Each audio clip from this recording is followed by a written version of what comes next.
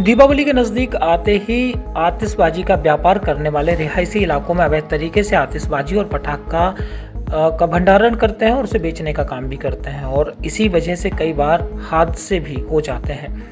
ऐसे ही अवैध आतिशबाजी के ठिकाने पर पुलिस ने छापेमारी की। महोबा पुलिस को इस बाबत सूचना मिली थी कि शहर मोहल्ला नैकानापुरा में बीच बस्ती में एक मकान के अंदर बड़ी मात्रा में आतिशबाजी और पटाखे दीपावली पर बेचने के लिए भंडारण करके रखे गए हैं। मुखबिर की सूचना पर शहर कोतवाली पुलिस टीम ने उक्त मकान पर छापेमारी की, जहाँ भारी मात्रा में आतिशबाजी और पटाखे बरामद हो गए। बड़े बड़े गत्तों और बोरियों में कई झाल आतिशबाजी रखी देख पुलिस भी दंग रह गई।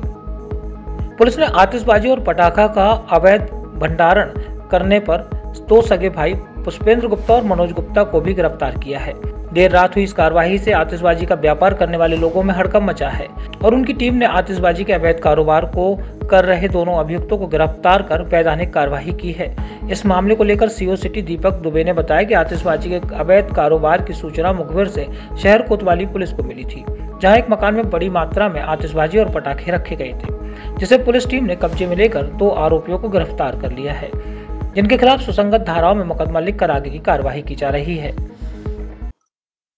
मुखबिर की सूचना पर थाना कोतवाली महोबा पुलिस द्वारा कस्बा महोबा के नकानापुरा मोहल्ला से एक मकान से काफ़ी अधिक मात्रा में आतिशबाजी पटाखे बरामद किए गए हैं तथा पुष्पेंद्र एवं मनोज नाम के दो व्यक्ति जिनका वो मकान है, उनको गिरफ़्तार किया गया है। प्रकरण में सुसंगत धाराओं में अभियोग पंजीकृत किया जा रहा है। अन्य आवश्यक कार्रवाई भी संपादित की जा रही है। महोबा से अशोक वर्मा की रिपोर्ट।